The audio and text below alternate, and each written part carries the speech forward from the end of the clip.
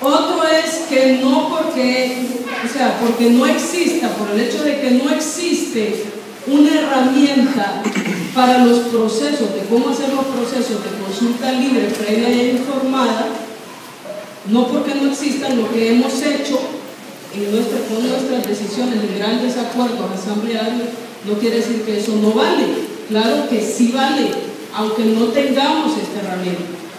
Lo otro es que esta herramienta, este, esta eh, que ahora se llama anteproyecto, ¿verdad? Eh, es un debate para un anteproyecto sobre el proceso de la, la CLIC. ¿Entendemos qué es de la CLIC? Consulta libre previa informada. Quiere decir CLIC. Y entonces, este, no quiere decir que eso va a resolver todos nuestros problemas, compañeros. Eso no es cierto. Así como el convenio 169 no resuelve todos nuestros problemas, solo es una herramienta. Igual esto.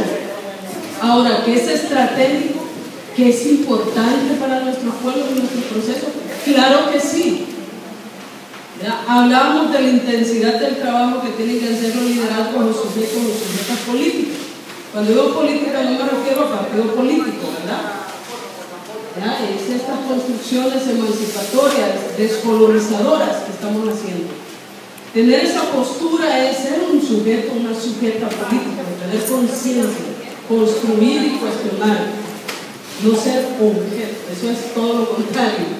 Entonces, este, hablábamos de escuchar, por ejemplo, a los pueblos indígenas de otras partes, por ejemplo, el pueblo Cuna, que nos comentaba el amigo de por acá, pasaron por el tema de la Red Plus, que yo sé que muchas organizaciones están metidas en el tema de la Red Plus. En el caso de Copín estamos en contra de la Red Plus, otra también, no sé qué otra.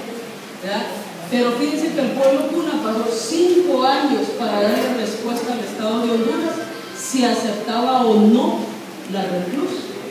Cinco años. Y le dijeron que no tenían presión de nadie.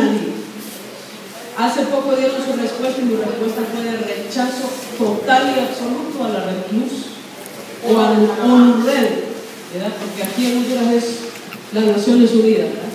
Entonces, este, eh, si bien es cierto, esta propuesta de proyecto genera como un mecanismo estándar, digamos, más o menos, da indicaciones de que cada pueblo también tiene que definir su proceso, porque no es igual. ¿verdad? En Guatemala, por ejemplo, hay 29 naciones mayas, ¿verdad? Pueblos mayas, más o menos 28, y cada una define cómo es su proceso.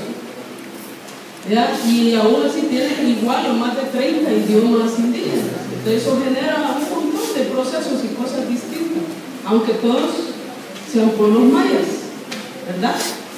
No se vayan a dormir, compañeros y compañeras.